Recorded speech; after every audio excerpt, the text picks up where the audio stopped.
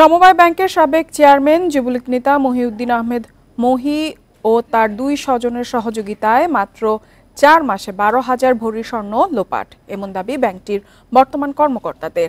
তারা জানান, রাজনৈতিক প্রভাবে দুদকের মামলার চার্জশিট থেকে নিজের নাম সরান তিনি। তার বিরুদ্ধে ব্যাপক নিয়োগ বাণিজ্যেরও অভিযোগ রয়েছে। দু হাজার নয় সালে রাজনৈতিক বিবেচনায় সময় ব্যাংকের চেয়ারম্যান হন যুবলীগ নেতা মহিউদ্দিন আহমেদ মহি। পরে ব্যাংকের ভল্টের দায়িত্ব দেন তার ভাগ্নে ক্যাশ অফিসার নূর মোহাম্মদ ও চাচাতো ভাই ব্যাংকের এজিএম হেদায়েত কবিরকে। এ দুজনকে সাথে নিয়ে ভোল্টের বারো হাজার ভরি স্বর্ণ লুট করার অভিযোগ তাদের বিরুদ্ধে। দু হাজার নয় থেকে আঠারো সাল পর্যন্ত সমবায় ব্যাংকে বেশিরভাগ নিয়োগ দেওয়া হয় মহিউদ্দিনের গ্রামের বাড়ির লোকজনকে। দু হাজার বিশ সালের মার্চ থেকে জুন পর্যন্ত প্রায় চার মাসে একশো পঞ্চাশ কোটি টাকা দামের বিপুল স্বর্ণ গায়েব হয়ে যায় ব্যাংকের ভোল্ট থেকে। পরের বছর স্বর্ণ চুরির স্বপ্রণোদিত মামলা করে দুদক। এক নম্বর আসামি সময় ব্যাংকের তৎকালীন চেয়ারম্যান মহিদ্দিন আহমেদ মহি। আসামি আরও আটজন। তবে চার্জশিট থেকে বাদ দেওয়া হয় প্রধান আসামিকে। আমাকে পাত্তাই দেয় না। তো তার ইয়ে।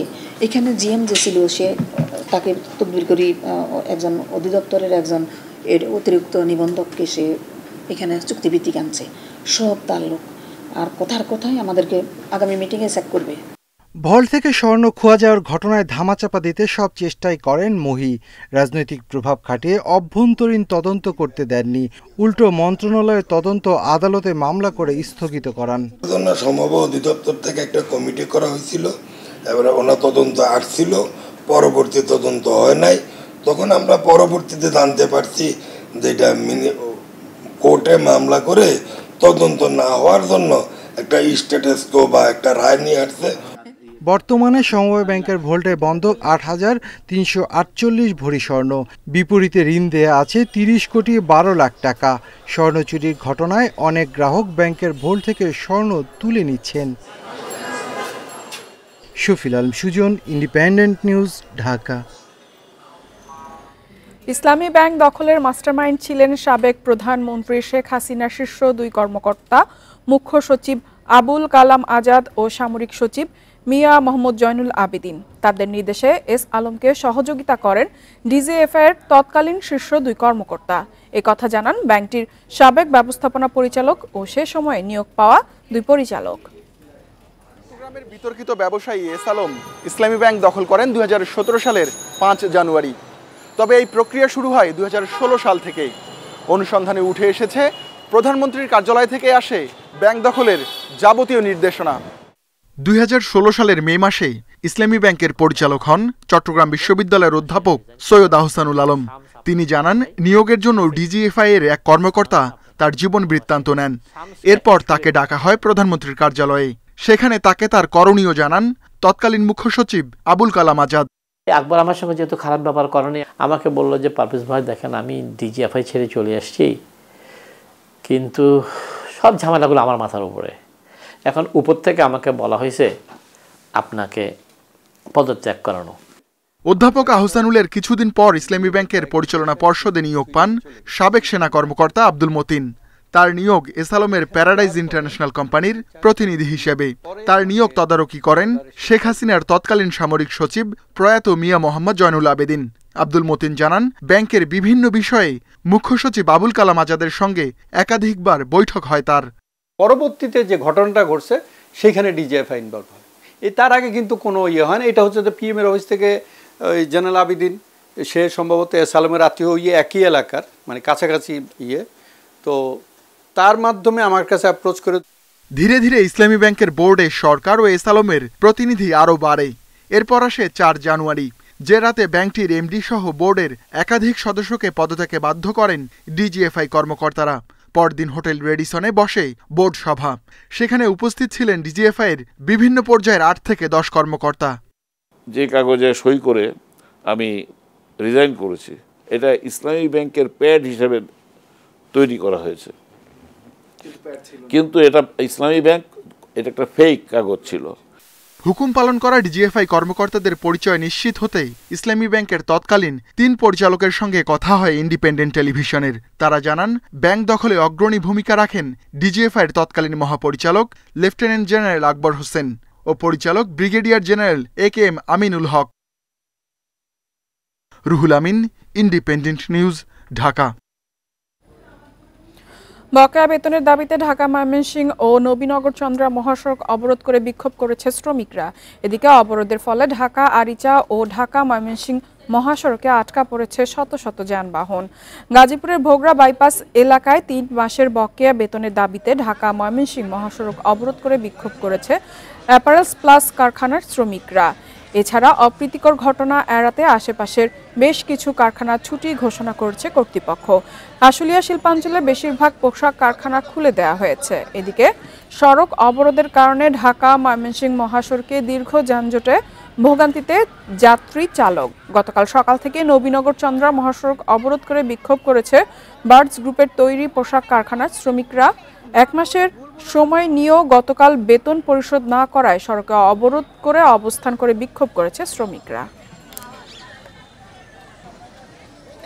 এখন তো আমরা কোনো সিদ্ধান্ত পাইতেছি না। আমাদের কোম্পানি মালিক বলছে তিরিশ টাকা তিরিশ টাকা বেতন কৈশোর করে দিব। এবং আমরা কোনো দাঁড়াইতেছে না কিছু। এভাবে আমরা থাকব। আমাদের রাস্তা ক্লিয়ার করে থেকে আমরা চলে যাই। এদিকে গার্মেন্টসে অস্থিরতা সৃষ্টি করতে একটি গোষ্ঠী উস্কানি দিচ্ছে বলে অভিযোগ করেছেন শ্রম উপদেষ্টা আসিফ মাহমুদ সজীব ভুইয়া। যারা গুজব ছড়িয়েছে, তাদেরকে চিহ্নিত করা হচ্ছে বলেও জানান তিনি। দুপুরে সচিবালয়ে আইন শৃঙ্খলা বিষয়ক উপদেষ্টা কমিটির সভা শেষে এসব কথা জানান শ্রম উপদেষ্টা। আসিফ মাহমুদ বলেন, গার্মেন্টস কারখানার নিরাপত্তা নিশ্চিতে আইন শৃঙ্খলা বাহিনী দীর্ঘদিন ধরে ধৈর্যের পরিচয় দিচ্ছিল। সাভারে একজন শ্রমিক নিহতের ঘটনায় শ্রমিকদের ভেতর থেকেই প্রথম গুলি ছোড়া হয় বলে জানান তিনি। এরপর সহিংস পরিস্থিতিতে গুজব ছড়িয়ে আইন শৃঙ্খলা বাহিনী ও শ্রমিকদের মুখোমুখি করা হয় বলে দাবি করেন শ্রম উপদেষ্টা। পুলিশ গুলি ছুটতে বাধ্য হয়েছে উল্লেখ করে উপদেষ্টা জানান, নিহত শ্রমিককে তেরো লাখ টাকা ক্ষতিপূরণ দেয়া হয়েছে। বলেন, যেসব মালিক বেতন দিচ্ছে না, তাদেরকে আইনের আওতায় এনে বক- বকেয়া পরিশোধের ব্যবস্থা নেওয়া হবে। সেখান থেকে গুলি করে পরিস্থিতিটাকে উস্কে দেওয়া হয়েছে। ফলশ্রুতি গতকালকের ঘটনাটা যেখানে সূত্রপাত হয় মূলত একটা গুজবের ভিত্তিতে সেটা সূত্রপাত হয়েছিল। প্রথম গুলিটা শ্রমিকদের ভেতরে থেকে দুষ্কৃতিকারীরা ছুড়েছিল এবং সেখান থেকেই মূলত গোলাগুলির সূত্রপাত হয় এবং সেখানে দুঃখজনকভাবে একজন আমাদের একজন শ্রমিক নিহত হন এবং আরও আহ, পলিথিন নিষিদ্ধ করে পাট, কাপড়, কাগজের ব্যাগের প্রচলন করা অন্তর্বর্তী সরকারের যুগান্তকারী উদ্যোগ। এটি সফল হলে দেশে পাটের উৎপাদন বাড়বে, লাভবান হবে কৃষকরা। সোনালী আশের দেশ হিসেবে আবারও মাথা উঁচু করে দাঁড়াতে চায় বাংলাদেশ। সকালে গুলশানে একটি শপিং মল পরিদর্শনে গিয়ে এসব কথা বলেন বস্ত্র ও পাট উপদেষ্টা এম শাকওয়াত হোসেন। রাজধানীর সুপার শপ ও শপিং মলে নিষিদ্ধ হল পলিথিনের ব্যাগ। তাই মঙ্গলবার সকাল থেকে পাট ও কাগজের তৈরি ব্যাগে বাজার করছেন ক্রেতারা। বিশ থেকে ত্রিশ টাকায় বিক্রি হচ্ছে এ ব্যাগ। পলিথিনের ব্যাগ বিক্রি ও নিষিদ্ধ হওয়ায় অনেকেই সাথে এনেছেন পাটের ব্যাগ। ক্রেতারা বলছেন, পলিথিনের বিকল্প ব্যাগের উৎপাদন ও মজুত আরও বাড়াতে হবে। সেই সাথে দামও সাশ্রয়ী করার দাবি তাদের। এটা দশ টাকা হলেও এনাফ কারণ আপনাকে তো শুধু ইউনিমার্টে কারা আসছে তাদেরকে চিন্তা করলে হবে না। সবার কথাই চিন্তা করতে হবে। সবার পক্ষে দশ টাকা দিয়ে কেনারও হয়তো সামর্থ্য থাকবে না।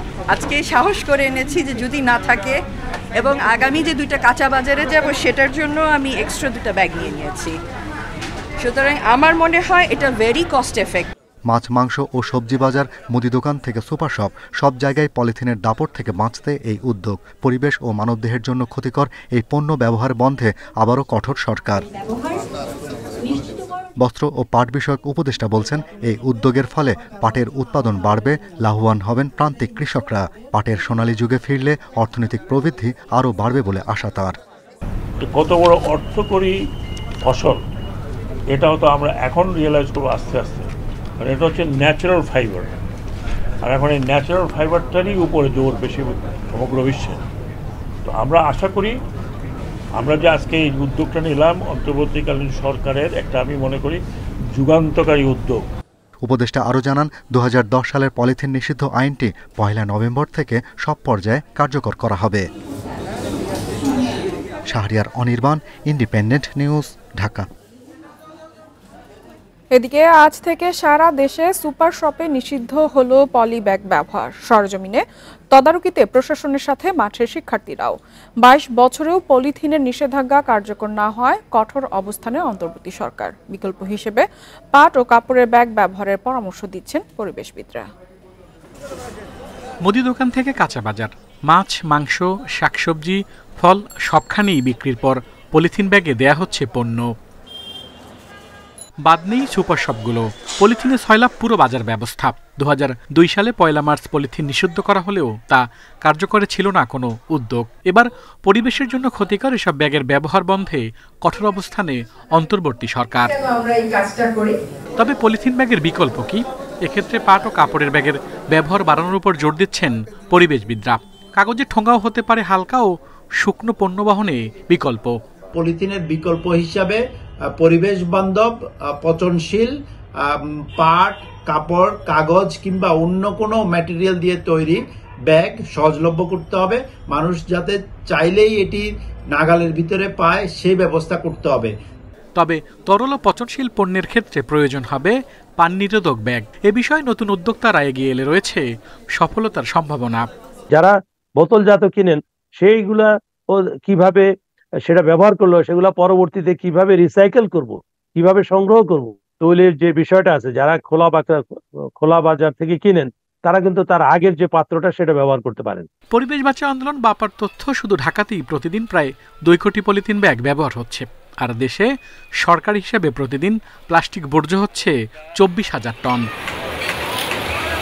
Al Amin Hossain, independent news, Dhaka. চলতি অর্থবছরের শুরুতেই ধস নেমেছে বৈদেশিক ঋণের প্রতিশ্রুতিতে। জুলাই, আগস্ট পর্যন্ত উন্নয়ন সহযোগীদের প্রকল্প তহবিল ও বাজেট সহায়তার প্রতিশ্রুতি হিসেবে এসেছে মাত্র দুই দশমিক শূন্য এক কোটি ডলার। অর্থনৈতিক সম্পর্ক বিভাগের হালনাগাদ প্রতিবেদন অনুযায়ী গত অর্থ বছরের চেয়ে চলতি অর্থ বছরের প্রথম দুই মাসে প্রায় আটানব্বই শতাংশ প্রতিশ্রুতি কম এসেছে।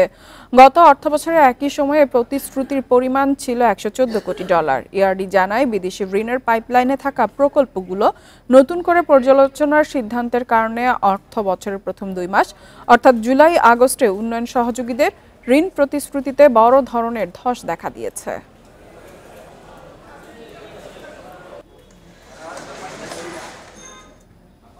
রাষ্ট্র সংস্কার কার্যক্রমে বাংলাদেশের পাশে থাকার আশ্বাস দিয়েছে আন্তর্জাতিক মুদ্রা তহবিল আইএমএফ। দেশের জনগণের কাছে সংস্থাটি প্রতিশ্রুতবদ্ধ বলেও জানিয়েছে সফরতা আইএমএফ প্রতিনিধি দলের প্রধান পাপে জর্জিও। সোমবার এক সংবাদ বিজ্ঞপ্তিতে সংস্থাটি জানায়, বাংলাদেশের অর্থনীতি ধীরে ধীরে স্বাভাবিক অবস্থায় ফিরিয়ে আনতে অন্তর্বর্তী সরকার কাজ করছে।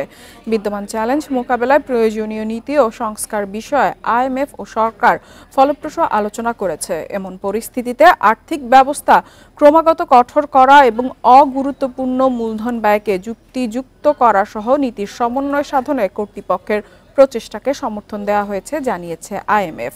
চলমান কর্মসূচির কাঠামোর মধ্য থেকেই সংস্কার এজেন্ডাকে এগিয়ে নিতে কর্তৃপক্ষের সঙ্গে ঘনিষ্ঠভাবে কাজ চালিয়ে যাবে সংস্থাটি।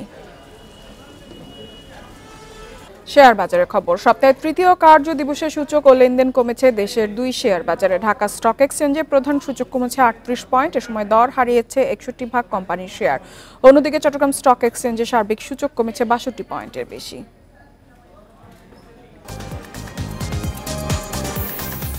মঙ্গলবার দিনের শুরুতে কিছুটা ইতিবাচক ছিল ঢাকা স্টক এক্সচেঞ্জ। প্রথম দশ মিনিটেই প্রধান সূচক বাড়ে একচল্লিশ পয়েন্ট। এরপর শুরু হয় সূচকের পতন। দিন শেষে ডিএসএক্স সূচক কমেছে আটত্রিশ দশমিক দুই এক পয়েন্ট। অবস্থান করছে পাঁচ হাজার পাঁচশো ছিয়াশি পয়েন্টে। সূচকের সঙ্গে কমেছে লেনদেনের পরিমাণও। আজ মোট লেনদেন হয় তিনশো উননব্বই কোটি সাতচল্লিশ লাখ টাকা। আগের দিনের চেয়ে লেনদেন কমেছে একশো চোদ্দ কোটি তেতাল্লিশ লাখ টাকা। হাত বদলে অংশ নেওয়া তিনশো সাতানব্বইটি কোম্পানি ও মিউচুয়াল ফান্ডের মধ্যে দর কমেছে একষট্টি ভাগ কোম্পানির শেয়ারের। এ সময় দর বেড়েছে একশো পাঁচটির, কমেছে দুশো চুয়াল্লিশটির, অপরিবর্তিত রয়েছে আটচল্লিশটি প্রতিষ্ঠানের শেয়ারের দর। সবচেয়ে বেশি লেনদেন হওয়া প্রতিষ্ঠানের তালিকায় প্রথম ইসলামী ব্যাংক, দ্বিতীয় গ্রামীণ ফোন, তৃতীয় অবস্থানে ইবনে সিনা।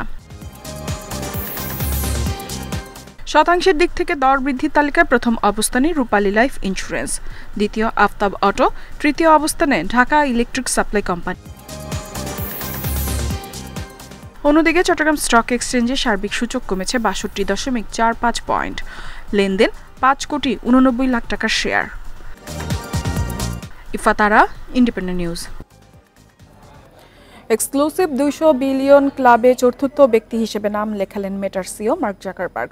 Bloomberg billionaire ইন্ডেক্সের তথ্য অনুযায়ী, এ প্রযুক্তি উদ্যোক্তার ব্যক্তিগত সম্পদের পরিমাণ সাত হাজার তিনশো চল্লিশ কোটি ডলার বেড়ে চলতি বছর দুশো এক বিলিয়ন বা বিশ হাজার একশো কোটি ডলার ছাড়িয়েছে। তালিকার শুরুতেই রয়েছে টেসলা ও এক্সের সিও ইলন মাস্ক, যার সম্পদের পরিমাণ সাতাশ হাজার দুশো কোটি ডলার। এরপর অ্যামাজনের প্রতিষ্ঠানা প্রতিষ্ঠাতা জেফ বেজাস ও লাক্সারি ব্র্যান্ড এলভিএমএইচ এর সিও বেহানা আহনের সম্পদের পরিমাণ যথাক্রমে একুশ হাজার একশো কোটি ও বিশ হাজার সাতশো কোটি ডলার। চল্লিশ বছর বয়সী মার্ক জাকারবার্গ দু হাজার চার সালে সামাজিক যোগাযোগ মাধ্যম ফেসবুক চালু করেন। এ প্ল্যাটফর্মের প্যারেন্ট প্রতিষ্ঠান মেটা। জাকারবার্গের বেশিরভাগ সম্পদের উৎসও এখানে। দু হাজার চব্বিশ সালে মেটার শেয়ার দর বেড়েছে প্রায় চৌষট্টি শতাংশ।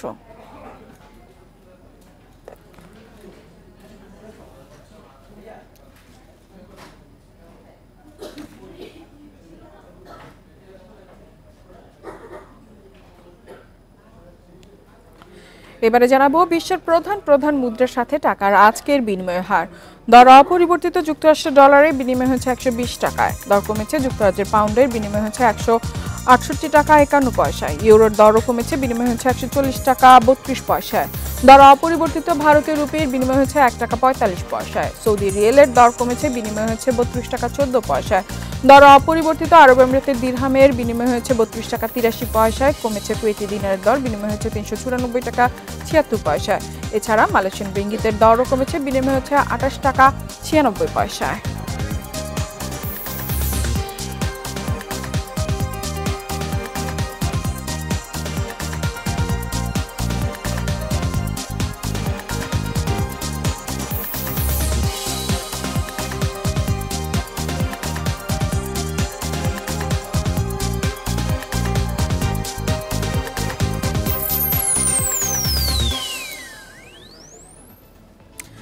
আর এই ছিল অর্থনীতি সারাদিনের আজকের আয়োজনে ইন্ডিপেন্ডেন্ট টেলিভিশনের সব খবর। আরও জানতে চোখ রাখুন ফেসবুক ইউটিউব এবং এক্সে আমন্ত্রণ আমাদের পরবর্তী সংবাদে।